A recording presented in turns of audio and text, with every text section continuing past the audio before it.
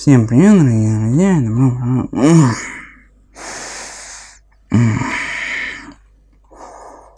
И добро пожаловать.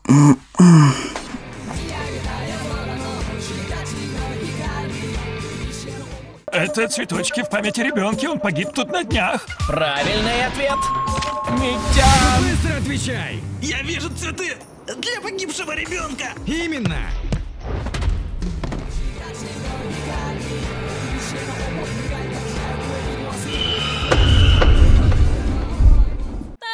Татира-тинда, та, татира-тиндари, татира-тинда, та, татира-тиндари, татира Дорогие друзья, всем привет и добро пожаловать на канал Коротко, а не коротко. С вами Кин, и это новая рубрика «Что я посмотрел?». Кино ходить пока не получается, поэтому приходится выкручиваться. В этой рубрике я буду рассказывать про фильмы, на которые я наткнулся случайно, и они меня зацепили. Эти фильмы не выходили на большие экраны. Или же выходили, но я их благополучно проепустил. И сегодня на повестке дня у нас подарок от Японии и Netflix. Не правда ли горючая смесь? Встречайте отбеливатель. Более известный всем как Блич. Фильм перенесет нас в Японию, где мы познакомимся с обычным школьником Ичиго Курасаки. Но вы сами понимаете, обычный он только на первый взгляд, так как Ичиго может видеть призраков и общаться с ними. Занимается он этим уже не один год, так что для него это не в новинку. Живет Ичи с отцом и двумя сестрами, на одну из которых в один прекрасный вечер нападает пожиратель душ, именуемый Пустым. Но Ичиго не придется в одного сражаться с монстром, ведь в этот же вечер он знакомится с Шинигами Рукией, которая помогает ему. Но вот какова будет цена такой помощи и чем обойдется для Ичиго знакомство с новым миром, вы узнаете из фильма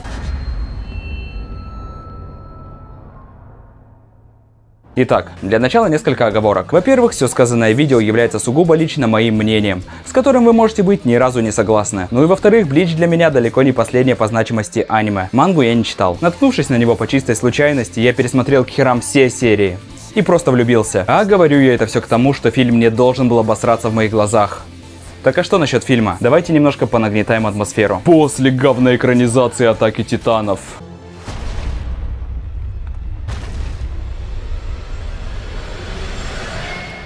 После еще большей говной экранизации Тетради Смерти.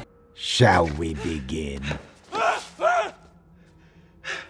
Выходит довольно даже годная экранизация Блича. Спасибо. Ой, да ладно. Netflix годно экранизировал аниме? Я считаю, что да. И вот несколько причин, почему я так думаю.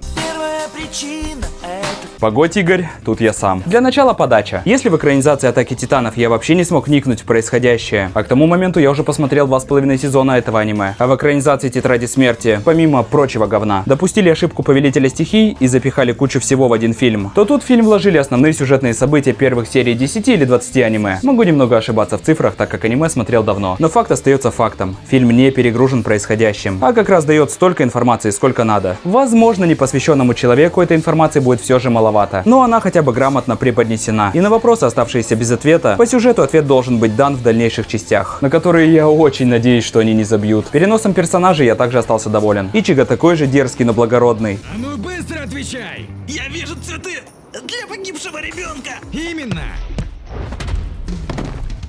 Руки супер-мега серьезная, каковой она и была в начале аниме.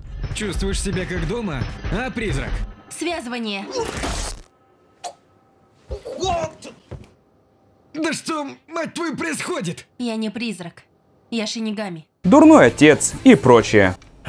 Мне он о своих делах не рассказывает.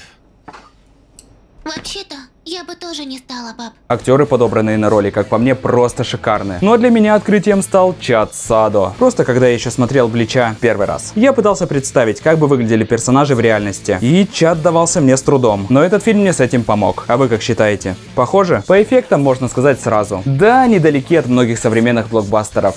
Но все же терпимые и со временем к ним привыкаешь. К примеру, в той же тетрадке эффекты выглядят дороже. Но спасает ли это фильм? Нет.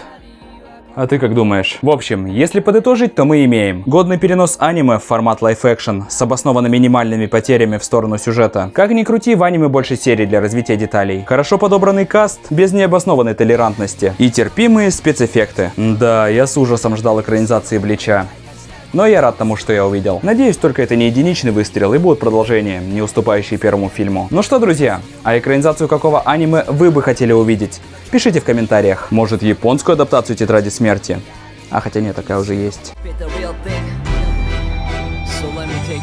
Если хотите, расскажу про нее в следующий раз. Или может вы бы хотели, чтобы экранизировали...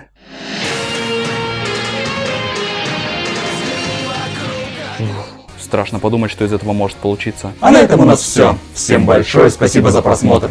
Если вам понравилось данное видео, то подписывайтесь на канал, ставьте лайк. А если и вы хотите такую довольно крутую маску, то советую заглянуть к моим друзьям в магазин Geekstuff. Но там вы сможете найти не только маски, но и кучу разных годных плюшек по фильмам, аниме, сериалам, играм и комиксам. В общем, не буду спойлерить, лучше если вы сами все увидите по ссылочке в описании. И не забудьте порадовать себя или своих близких хорошим подарком. Там же в описании вы найдете ссылки для вашей поддержки канала, а также ссылки на мою группу ВК и Инстаграм. И не забывайте, что каждую субботу и воскресенье на канале стрим выходные. Приходите, буду рад вас видеть.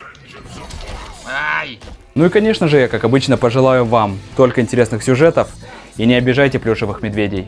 Пожалуйста. Пока.